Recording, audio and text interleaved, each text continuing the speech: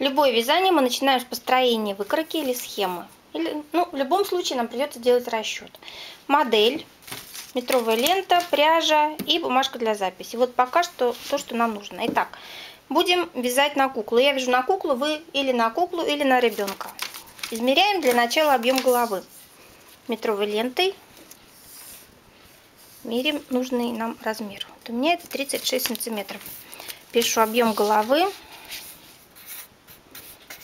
36. И желаемая длина нашей косынки, ну, я ее померю вот так, просто на глаз, потому что, ну, как выйдет, так и выйдет. Все равно маленькая она не получится, где-то отсюда мы мерили. И, ну, где-то 25-26 сантиметров, чтобы было вот примерно сюда. Все, больше мне моя модель пока не нужна. Так, длина изделия 25. Естественно, после того, как я померила, предварительно я должна сделать образец. То есть подобрать плотность вязания, которая удобна моей машинке. Э, беру, вот я буду вязать ирисом. Это ирис, летний материал, поскольку летняя косыночка, э, хлопок, хлопок. Делаю образец, подбираю плотность и смотрю, сколько у меня петель и рядов в одном сантиметре. То есть я провязала такой небольшой образец. В 30 рядах 5,5 сантиметров. Это ряды. И 30 петлях 11,5 сантиметров. Сейчас мы с вами быстренько посчитаем. Плюс к этому обязательно надо уточнить, что резинку я буду вязать на первой плотности, а само вязание на третьей. И обязательно я это записываю, чтобы не запутаться. Петельную пробу я делать не буду, я буду делать расчет быстрый. Пропорциями. Итак, мне нужны вот эти вот мерки, объем головы и длина изделия. Мне нужно знать, сколько у меня сантиметров в образце, в рядах и в петлях. Вот, у меня был маленький образчик, связанный удобной плотностью для машинки. Учитывая, что мне нужно объем головы это петли, длина изделия это ряды. Мне нужно 36 сантиметров по петлям. То есть вот здесь вот мне нужно 36 сантиметров. Так вот разделим. Это x петель. Берем калькулятор. Математика 6 класс. Вроде как 6, если я правильно помню. И пропорция. x равен. Умножаем циферки по диагонали и делим на ту, которая напротив х находится. То есть умножаем 30 на 36 и полученное число делим на 11,5. Так, 30 умножаем на 36 и делим на 11,5. 93. Ну, свяжем 90. Итого 90 петель. С длиной изделия то же самое. Мне нужно 25. Сантиметров. Значит, x рядов. x рядов равно 30 умножить на 25. И делим на 5,5. 136, 130. 130. Итого, мое изделие я набираю 90 петель и вяжу 130 рядов. Но у меня косыночка, а не шапочка, поэтому я сейчас делаю так. 90 на 3 делю э, то число петель, которые мы... Ну, смотрите, на, на Косынка у меня будет занимать 2 трети вязания. Вот здесь 2 трети вязания пойдет косыночка, а дальше она пойдет просто уголком убираться. Вот здесь пойдет повязка и дальше уголок будет сокращаться. Поэтому я вяжу 90 петель делю на 3. Получается у меня 30, 30 и 30. Но вот эта задняя часть, вот здесь вот будет шов, поэтому 30 я тоже делю пополам, получается по 15. Итого, мое вязание составлять будет 15 петель, дальше 2 по 30, 60 петель и 15 петель. Вот это схема вязания. 15 петель пойдет на сшивание, 15 петель на сшивание, сейчас посмотрите, когда мы будем вязать, о чем я говорю. И на 60 петельках я буду выполнять рисунок. Вот, собственно, весь расчет косыночки. Теперь 130 рядов, само собой. А, из них сантиметра 3 я буду вязать ложную резинку. Это можно делать даже на глаз, поскольку косынка не шапочка, она все равно сядет. Не главное ширина, чтобы хорошо уселась по голове. Длина совершенно не важна. Итого 130 рядов. Из них смотрю какую-то часть, ну где-то треть тоже, я провяжу прямым полотном, а потом буду делать убавку. Хотя можно делать убавку сразу уголочком. Можно, смотрите, а, вывязывать. Вот у нас ложная резинка наша связана, которую мы сейчас с вами свяжем. Мы можем провязать какую-то длину изделия прямо, потом сделать убавочку. Можем, вот наша ложная резинка, здесь вот 15 60 и 15. Вот это вот соберется пополам и пойдет на сшивание. Можем сразу провязать косыночку уголочком. Как угодно. В общем-то, здесь вы можете фантазировать. И убавки можно даже прямым полотном провязать всю косынку. Она будет таки, такой тряпочкой висеть, ее присобрать и загнуть под планочку, подшить к планочке. То есть вообще будет необычная э, такая вот полосочка, которая будет заправлена под планку. И все, вот вам летняя панамка. Очень интересная, с дырочками по краям для продувания. Тоже, тоже вариант. Все что угодно можно связать, а, моделируя вот такое вот а, замечательное изделие для девочки маленькой. Но мы будем вязать вот таким вариантом. Итого, я набираю на машинке 15 петель, 60 петель и 15 петель. Вот эти вот 15 и 15 я оставлю. На 60 петельках мне нужно провязать 130. Из них, из них так у меня в одном 5,5 это 30. Значит 3 сантиметра сейчас посчитаем. 3 сантиметра. 30 умножить на 3 и делим на 5,5. 16. Ну хорошо, 16 рядов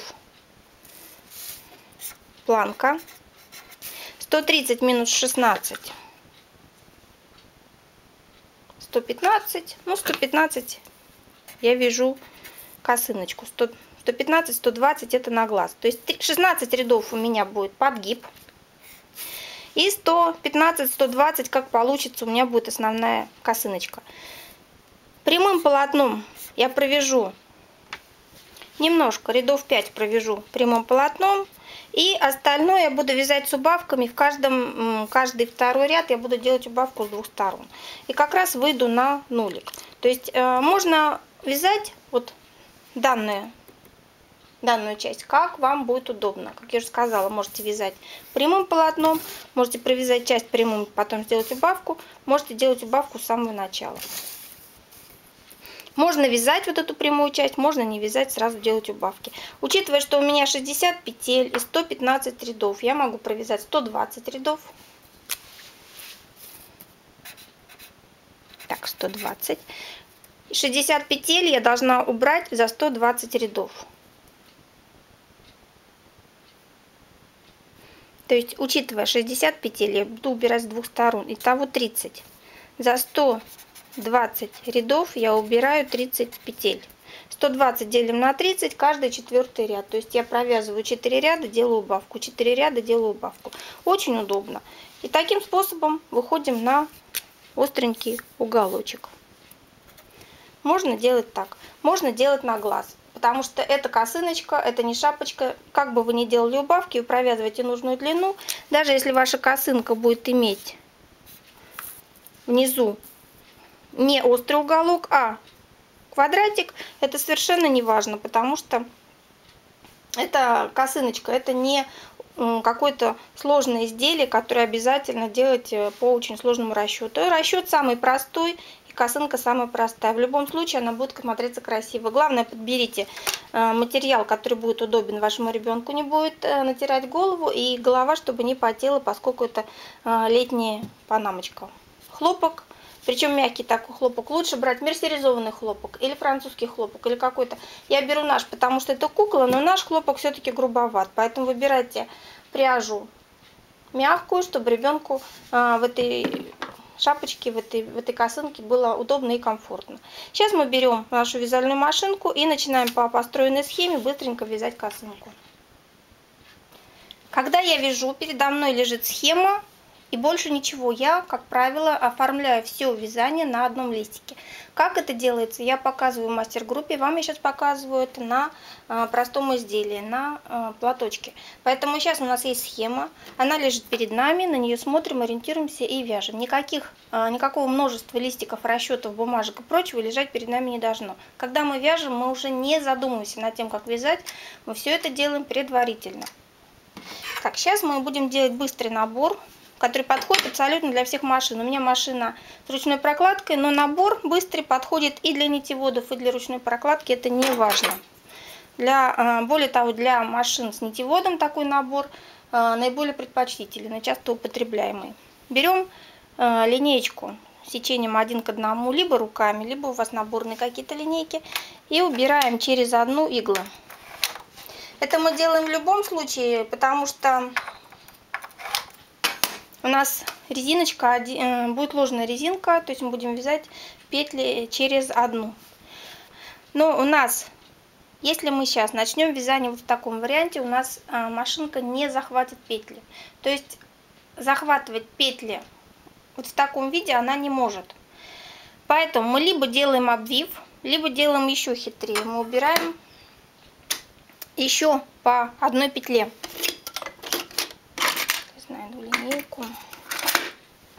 один к трем и убираем еще по одной петле средние.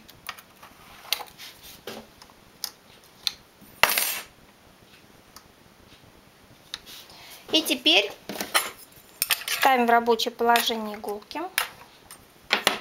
Проверяем язычки, кому это нужно.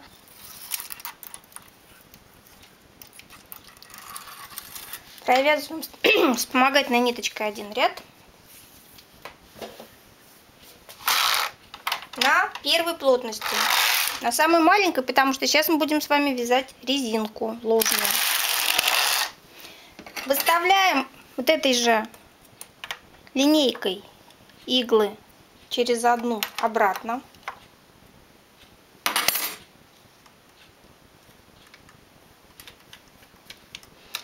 Кому надо, еще раз проверяем язычки, потому что мы выставили дополнительные иголки. Теперь машинка сможет захватить петли и начать вязание. так, крайнюю лучше обвить. И провязываем еще ряд. Так, и эту крайнюю. Крайние иголочки лучше обвить. Тогда они а, лучше захватывают петли. Еще ряд. И провязываем еще несколько рядочков. Проверяем, что все петли захватились.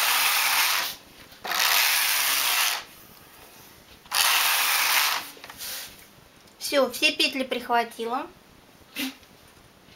Все провязаны, все провязаны. У кого нужны оттяжки, оттяжки уже на месте. Вспомогательная ниточка мне больше не нужна. Она свою задачу выполнила. Она захватила нам все петли. Проверяю еще раз. Да, все петли подвязаны, все очень хорошо. Берем катушечную ниточку контрастного цвета. Обязательно контрастного, потому что мы сейчас будем надевать, не сейчас, а когда будем делать подгиб, наденем эти петли, которые мы сейчас получим, на иглы. Поэтому ставлю э, плотность посвободнее и провязываю один ряд катушкой.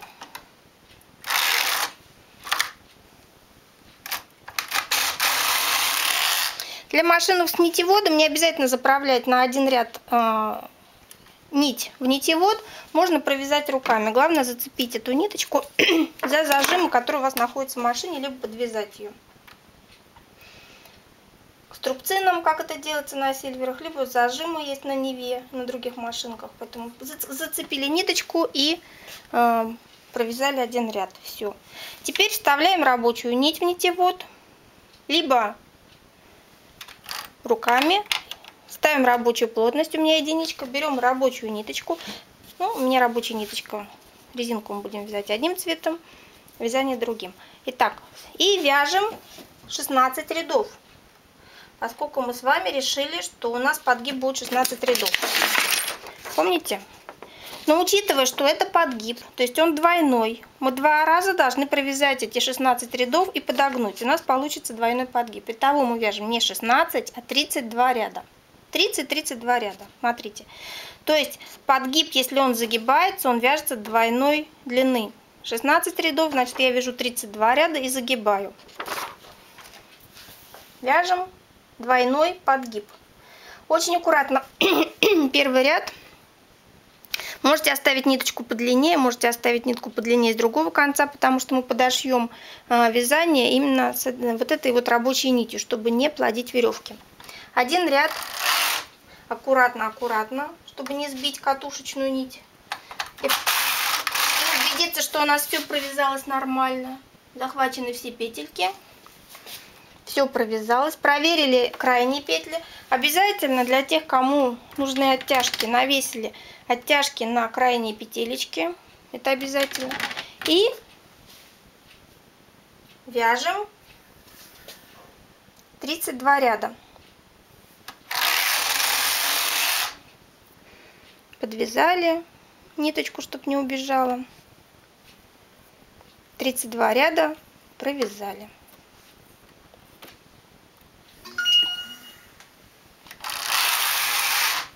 проверяя, что у нас провязываются все крайние петелечки и нигде ничто не сбрасывает. 32 ряда. Провязали 32 ряда, я провязала двумя цветами, сиреневый, белый, сиреневый. На три части поделила, по 10 рядов всех провязала, белого, белого 12, сиреневого по 10. Получилось 32 ряда. Теперь наша задача надеть этот подгиб на иголки. Ставим в рабочее положение все иглы. Даже не так, а линеечка их чуть-чуть подлиннее, чем э, те, которые у нас работали. Чтобы они выделялись из рабочего положения, чтобы их было хорошо видно. Смотрите, у нас вот здесь с вами, видите, для чего мы делали катушечную нить. Вот эти вот петли открытые, отлично видны, вот они. Они такие хорошо видные, их не перепутать. И вот эти вот теперь открытые петли, которые у нас получились, которые у нас держатся катушечной ниточкой, мы надеваем на вновь выдвинутые иголки. Можно было просто поставить в работу и сделать, но мы надеваем открытые петли на иглы. Их отлично видно, они не перепутаются. Надевайте на пустые иголки, не на те, на которых уже есть вязание для того, чтобы у нас не было никаких а, дополнительных отверстий. Потому что если мы сейчас наденем вот эти вот петли на те иглы, на которых уже есть петля, у нас будут ажуры. Это тоже вариант, тоже красивое оформление, то есть э, переход от резинки к основному полотну будет с ажурчиками. Вот так ажуры будут гораздо меньше, менее видны. Во всем э, и всегда есть варианты, особенно это касается оформления. Массу вариантов мы с вами проходим в мастер-группе, но а, сейчас у нас такой учебный урок. Самые простые приемы я вам показываю, быстрые простые приемы. Это прием, при котором у нас ажуров при переходе от одного вязания к другому не будет. Все надели. Теперь нашу катушечную нитку. Она совершенно больше не нужна. И вот это вязание, которое у нас болтается, вот это нам совершенно не нужно. Можем просто вытащить. Вот так вот мы вытащили катушечную нитку. И у нас вспомогательная нитка отвалилась сама. Если у вас машинка с нитеводом, вы можете оставить вот эту вот нить и на ней держать грузики потому что иначе у вас будет растягиваться вязание. Можете подвесить грузики на основное вязание, можете оставить вспомогательную нить, и на нем пускай висят грузы и оттягивают именно вот эту вспомогательную ниточку. Потом, когда закончите вязание, вы точно так же одним движением вытаскиваете вспомогательную нить, надели все петли на иглы. Теперь наша задача закрыть 15 петель. Вот они 15 петель. Мы их закрываем удобным способом. Не самый удобный способ косичка, я косичкой закрою. В переднем рабочем положении остаются все остальные, эти мы просто прикрываем язычки. Это касается всех машин, на всех машин так делается. Язычки прикрываются для удобства. Чтобы было легко,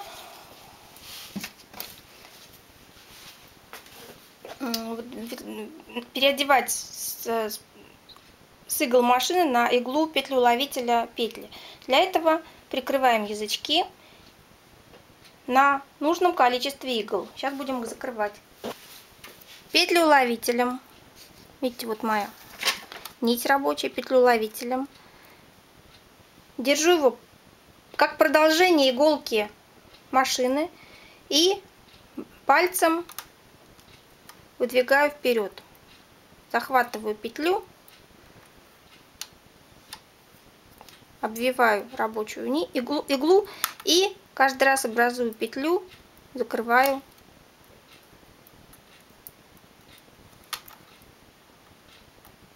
петли. Каждый раз ставлю петлю ловитель как продолжение иголки машины, снимаю на него петли с иглы машины и вывязываю петлю рабочей нитью. Это один из способов закрытия петель. Если вам э, тяжело даются косички, э, некоторым действительно эти косы тяжело даются, потому что они бывают неравномерные, э, не у всех получается, иногда предпочитают делать пересадками. Пересадками еще есть способы. Пожалуйста, в мастер-группе у меня в вводном курсе достаточно большое количество способов закрытия. Каждый выбирает для себя удобный. Сейчас я показываю один из способов, каким очень легко просто это все делается. Так, мы закрыли 15 петель. То же самое делаем с другой стороны. Игла, ой, нить сиреневого цвета мне больше не нужна. Я могу просто отрезать, чтобы она мне не болталась. Будем вязать а, белой пряжей. И то же самое, тоже то же самое вот здесь вот а, со второй стороны. У меня осталась висеть ниточка. А, 15 иголок прикрываем язычки вязанием и закрываю оставшимся хвостиком. А, у тех на машинах а, с, такими, с такой системой на пятерках э, на, на Неве нет колков. Поэтому, если у вас вязание падает, периодически выдвигаем вперед иглу и на нее навешиваем вязание, обвивая ниточку, иголочку. Опять же, смотрите все это в мастер-группе. Если у вас колки, у вас вязание так повиснет на колках при закрытии, проблем никаких, ничего никуда не свалится. Таким же точно способом закрываем вторую часть нашего вязания. Выдвигаем иглу вперед. Петлеуловитель является продолжением иглы машины. Снимаем на него петельку провязываем петлю рабочей нитью и так далее. Это способ закрытия петель косичкой. Наиболее часто употребляемый, потому что коса может быть эластичной, может быть жестко держащей. Как это делать, как делать, чтобы она была эластичной и не стягивалась, я вам покажу в мастер-группе. Здесь мы просто закрываем край. Есть способы а, соединения косичкой, есть способы закрытия косичкой. Очень много всяких интересных вариантов, которые мы проходим именно в мастер-группе. Водный курс я рекомендую пройти всем, даже тем, кто думает, что э, умеет вязать. Так, все, закрыли по 15 петель. Сиреневая ниточка больше не нужна. Я беру белую нить, которую я буду вязать, и провязываю по плану как я хотела, прямой участочек. Этот вот. То есть 16 рядов подгиба мы связали. Теперь наша задача связать уголки. Итого я провязываю какое-то количество рядов прямо. Я провяжу 10 рядов и дальше буду делать убавку. Это все можно, в принципе, на таком изделии по ходу дела менять потому что это изделие, еще раз повторю, не требует особо сложных э, расчетов и каких-то а, какого-то сложного вязания. Это вязание простое. Ставлю плотность рабочую, не забываю.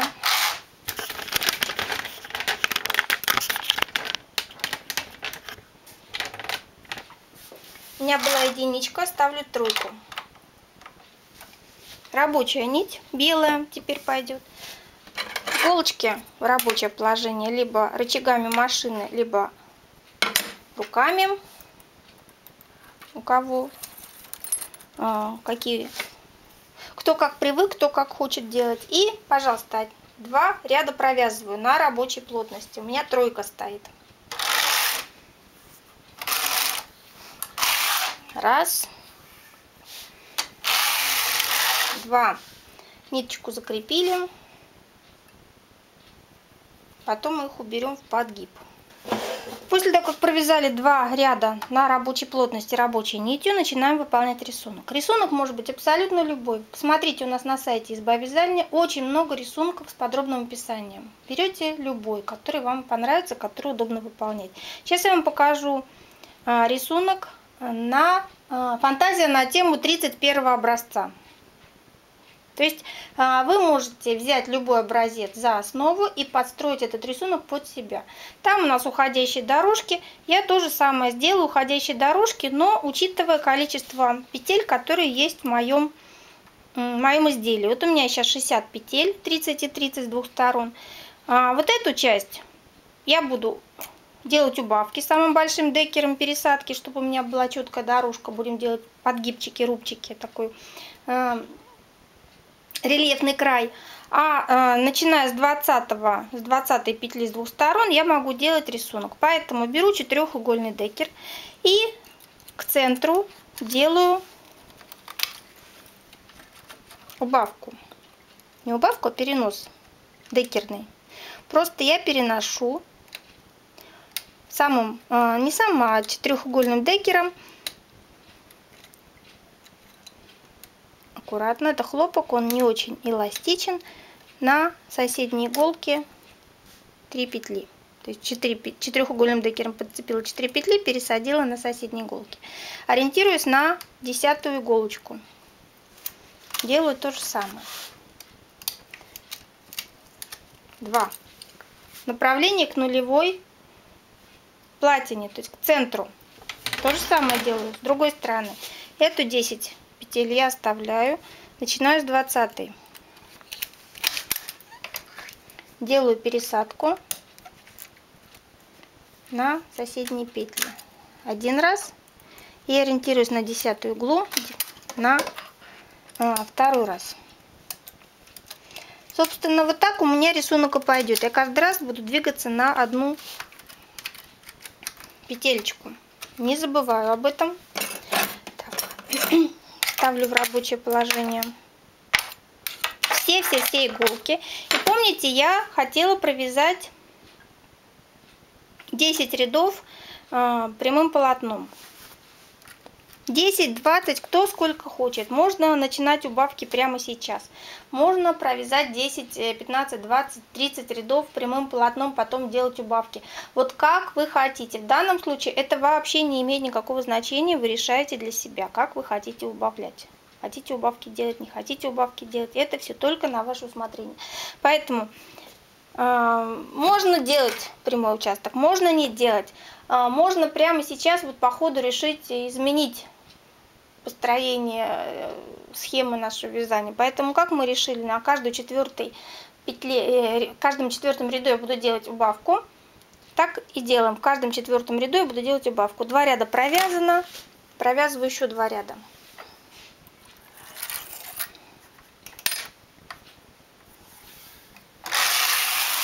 Могу делать могу не делать, это вообще вот в данном изделии совершенно не кардинально, не, не имеет значения. так, четырехугольный декер мой. Помните, вот здесь у меня была, был ажур. Я делаю то же самое, только переношу к центру на одну петлю ближе. У меня убавки пойдут. По... Так, главное не захватить язычок. Под углом была первая, вторая петля игла. С этой стороны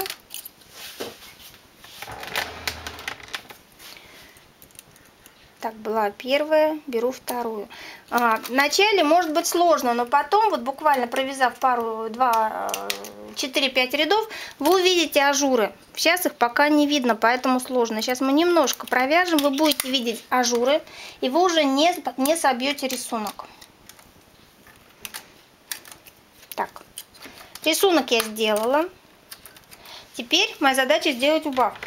Как я уже говорила, самым большим декером, вот у меня пятиигольный, я просто убавляю по одной петле вот так же массово пересаживаю. Пересадила и сделала массовую убавку. Это один из вариантов убавок. То же самое делаю с другой стороны. Массово убавляю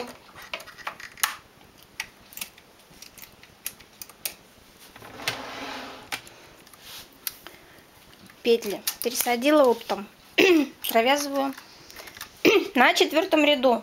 У меня четверочка стоит на, на счетчике. Все петли в рабочее положение, все-все-все иголки. И из заднего, и из переднего все петли у меня вяжут. Проверяю язычки.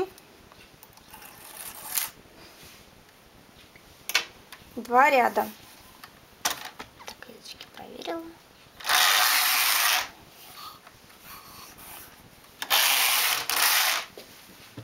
Шесть.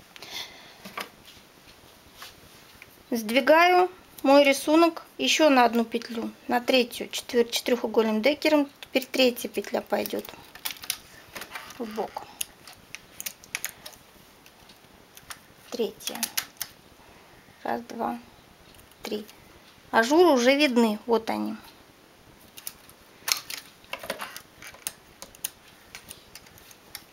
Так, два. Пока не дойду до нулевой платинки, потом а, буду так, раз, два, третье. А, пойду либо навстречу а, в другую сторону, либо опять начну с, с этой же стороны. То есть это уже такие нюансы я могу делать как мне удобно, вот как, как захочется. Здесь канонов никаких нет. Рисунок вы подстраиваете под свои пожелания. Так, два ряда, потому что на каждый четвертый мы будем делать убавку все-все-все иголочки ставим в рабочее положение, два ряда провязываем. Раз, два. Делаем то же самое уже с четвертой иголочкой. Раз, два, три, четыре. Двигаем ее. И так, пока мы не дойдем до платинки. Хотя можем и, и продолжать, и продолжать вот эти вот убавки до конца. То есть я дохожу до э, нулевой платины. Когда я дохожу сюда, начинаю заново с этой стороны. Все можно. То есть эти рисунки не имеют э, какого-то обязательного рапорта. Тут э, вы выполняете тот рисунок, который пришел вам в голову, либо который вы где-то увидели.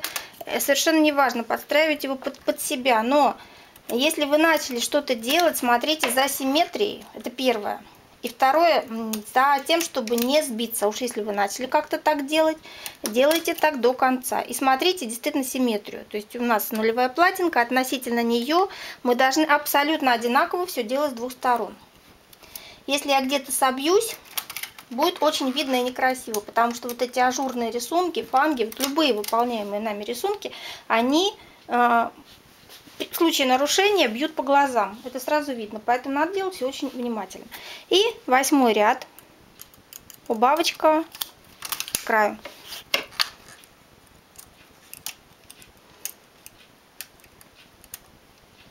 Так, убавка, убавка. С одной стороны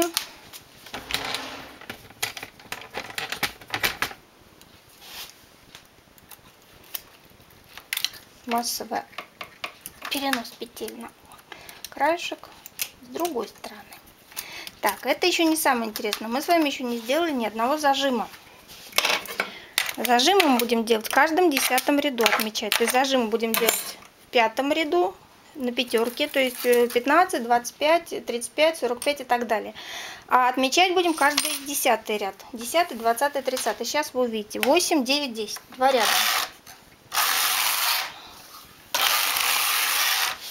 Берем два хвостика контрастной нити. Так, я их отрезала и выкинула. Два любых хвостика, которые нам очень хорошо видно. На счетчике десятка. Я вот так просто ставлю, вот так, видите, сверху положила хвостик, петельку с одной стороны, сверху кладу петельку с другой стороны. Все, больше ничего не делаю.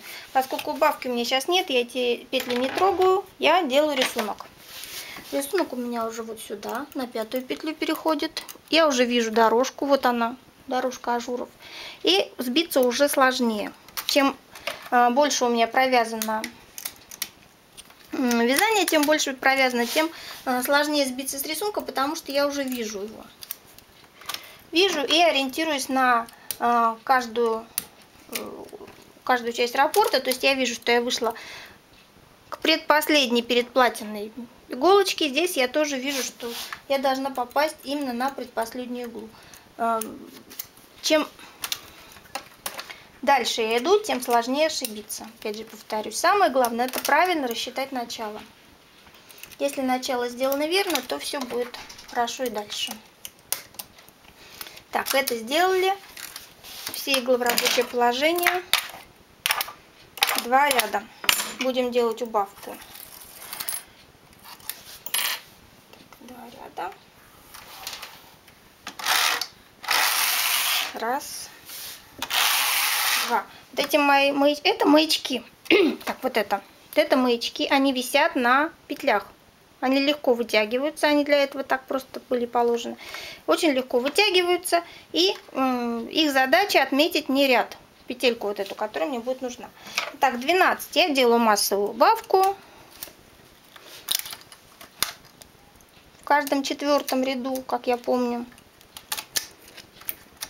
с одной стороны, то же самое делаю другой. Вывожу рисунок. Видите, все на самом деле очень просто. А, рисунок у меня пойдет уже на последнюю петельку. Вот я дошла до последней петли. В принципе, могу начать заново. Могу начать заново, могу пойти э, повести вот эти вот ажуры в, друг, вот дошла сюда, могу повести туда, могу вести их до самого конца, до а, центральной петли. Это все уже нюансы, как вам понравится, как вам удобно. Вот у меня, видите, на центральной петелечке уже оба рисунка встретились. Вот тут. Вот. Они сошлись вот сюда. Поэтому здесь я продолжать уже не могу. Мне либо разворачиваться эти обратно, либо вот эти части доводить до а, идти вести дальше и начинать заново вот отсюда уже. Но учтите, что между вот этими рисунками определенное количество петель. Подождите, пока эти части не дойдут до центра. Здесь берете э, декер меньшего-меньшего сечения, пока не выйдете вот сюда. То есть это э, вариации рисунка, которые вы можете вязать, как вам нравится. Самый простой вариант. Дошли до центра, Начинаем опять заново. Так, 12. Все в рабочее положение.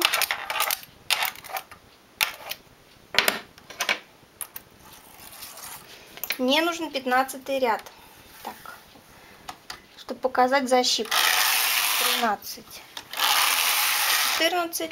Повторяем то же самое, но теперь я должна начать заново рисунок. Я, пожалуй, начну его заново, потому что, в общем-то, это не э, так и важно. Дошли до центра, начинаем по новой. И еще такой момент, когда я дойду до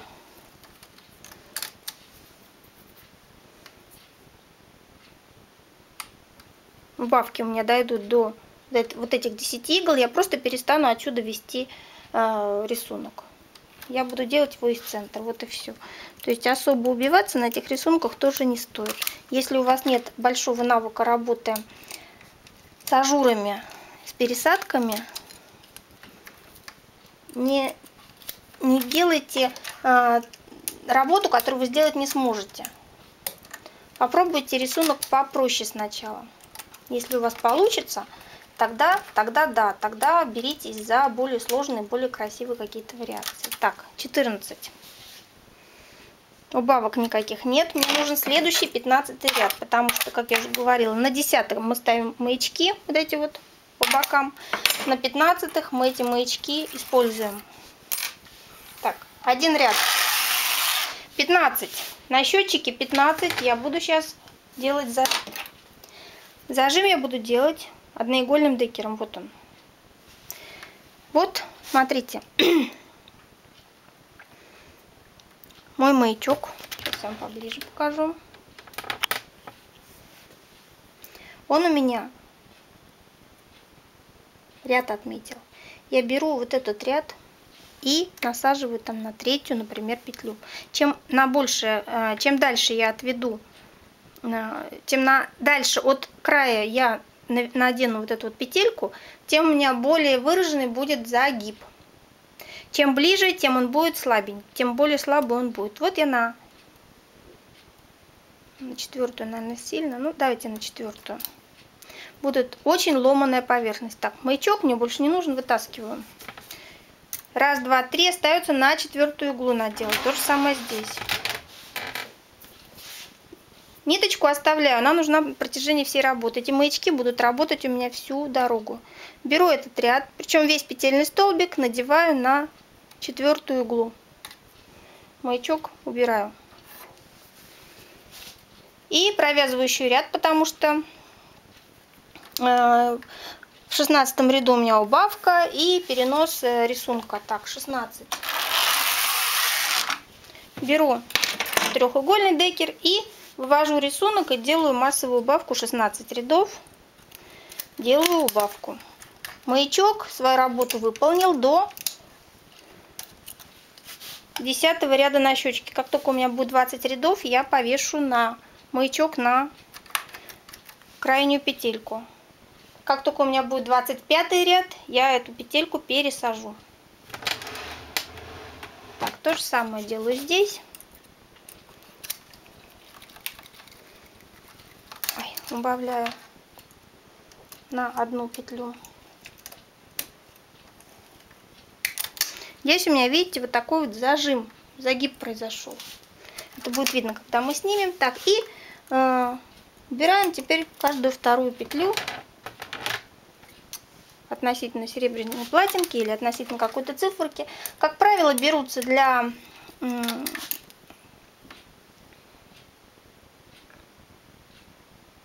ориентира нулевые платины, то есть серебряные платины, но они есть далеко не у всех такое счастье. В основном идут циферки. Берите э, цифры с нуликом. То есть это и есть ориентир для пересадок. И то же самое делаю с другой стороны. Те же самые пересадки, те же самые... Все то же самое. Вот таким вот способом я вывожу мою косыночку под уголок. Ничего сложного и страшного здесь нет, главное не ошибиться в рисунке. Если вы в маячках или в пересадках где-то ошибетесь, зажимы в защипах, вот здесь вот, в защипах, ничего страшного не произойдет, а, но лучше не ошибаться. Так, пересадили, рисунок выполнили, вяжем до того момента, когда на счетчике у меня будет не 16, а 20, то есть будет нолик. Когда только у меня будет нолик, я на крайней петельке навешиваю маячки. Как только у меня будет пятерка, вот здесь вот независимо от того 25, 35, 45, 145, сколько угодно, я делаю вот эту вот массовую пересадку, то есть не массовую, а декером, одним декером петлю с маячком пересаживаю на четвертую углу. Как я уже сказала, можно на четвертую, можно на третью, на вторую, э, как угодно. Чем меньше, чем ближе к краю, тем слабее будет э, зажим, защип вот этот вот. Чем дальше, тем он будет более ярко выражен. И вот таким способом, вот так вот, выводя рисунок, убирая петли и делая защипы, мы вяжем свои 130 рядов. 130, 120, 140, кто сколько посчитал. Ничего сложного. Вот таким способом мы вывязываем косыночку. Нам останется только снять ее с полотна, зашить вот эти вот бачки, краюшки, убрать ниточки и косыночка готова. Вяжем до конца, зашиваем и будем мерить на куклу. Вот мы связали нашу косыночку.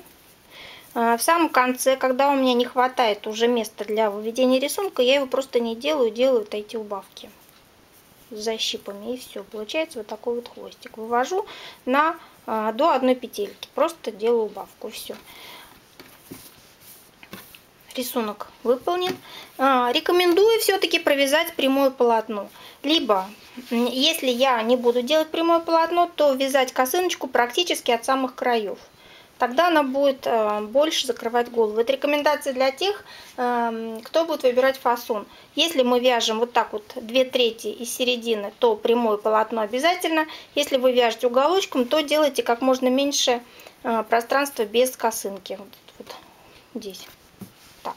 Теперь моя задача только сшить края, немножко намочить, подпарить, дать полежать моей косыночке, и можно ее надевать и носить потому что вот это все расправиться должно. Оно, когда, когда мы хлопок намочим и разложим, он примет форму. Как мы будем зашивать? Лицом к лицу. Вот этих все хвостики можно завязать, узелки. При перемене цвета, цвета у нас были узелки. Мы их аккуратненько завязываем, чтобы они не расходились, э, ниточки. И э, прячем внутрь подгиба.